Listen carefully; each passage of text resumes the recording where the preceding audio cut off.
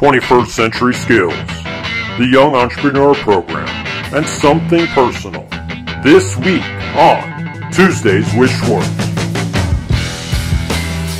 Live from the Leaf Academy studios, welcome back to the Tuesdays with Schwartz podcast. Every Tuesday, I take a look at one 21st century skill behind the scenes of the Young Entrepreneur Program and share something personal. The only way to watch the entire podcast is to subscribe to the free newsletter. The link is in the description.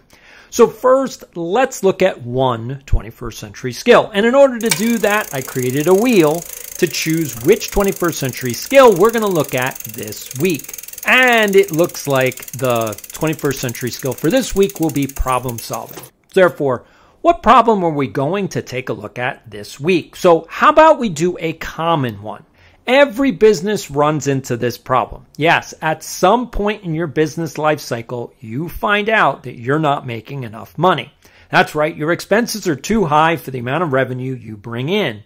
I've been there myself when I ran a multi-million dollar company. I was looking at my P&L statement and I was like, we do not generate enough money to justify these expenses. So Elon Musk uh, saw the same thing when he bought Twitter. Twitter just didn't make enough money to justify the amount of expenses that they had. So he had to cut expenses. So what's the solution? And that's the point. The easy solution is to just cut expenses, right? I mean, that's easy. You don't make enough money, therefore you cut expenses. The problem is that that's just a short term fix. It doesn't actually solve the real problem. The real problem is you don't have enough revenue. And so that becomes the answer. Therefore, you have to increase your revenue. But how do you do that? And when I talk to CEOs and business owners, this is where most people just get stuck. On the one hand, they want to increase revenues, but on the other hand, they just don't know how. In other words, they're saying, What do I do?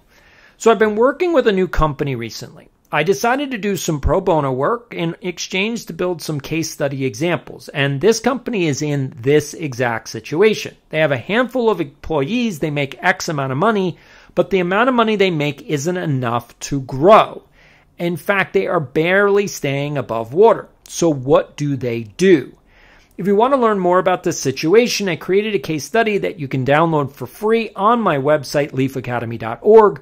The case study is 100% free to download and will give you tons of information if you run into the same problem.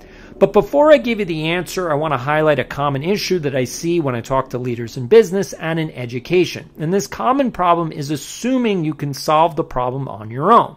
I see this far too often. What ends up happening is that businesses and schools allow a problem to go on much longer than it needs to go on. Like, they could solve the problem, but they just don't know what to do. So here's why that happens. Our school system taught us all that it's a bad idea to ask for help. That's right. When you were in school, everyone who asked for help was shamed. Therefore, we have been taught your intelligence is wrapped up in your ability to solve your own problems. But this couldn't be further from the truth. Problem solving happens to be a 21st century skill. Let me repeat that. Problem solving is a skill. That means if you never learned how to problem solve, then why would you think you could solve complex real world problems?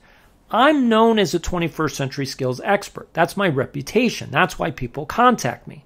One of the skills I know really well is problem solving. I know how to analyze a problem the right way. I know how to ask the right questions. And I also know how to find the right solution.